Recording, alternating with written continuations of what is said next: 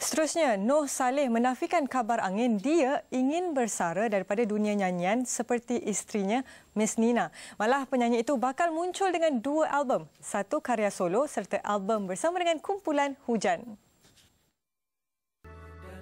Album solonya Noh Saleh dijangka berada di pasaran selepas sambutan Aidilfitri dan single terbaru Angin Kencang sudah menemui peminat solo album plan after raya insyaallah kalau tak Mei kalau tak sempat takut clash dengan puasa kan so after raya ada enam lagu and then the whole production kita buat kat Jakarta so, saya betul lagu kat sini dan adalah kawan-kawan yang sudi tolong kat sana so itu special lah.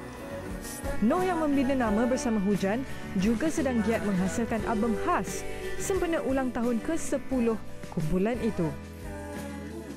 Hujan uh, Next year kita 10 tahun, ulang tahun 10 tahun. So kita tengah plan special song, a few songs dalam kita nak buat live album, concert kita record dan kita tambah beberapa lagu baru itu.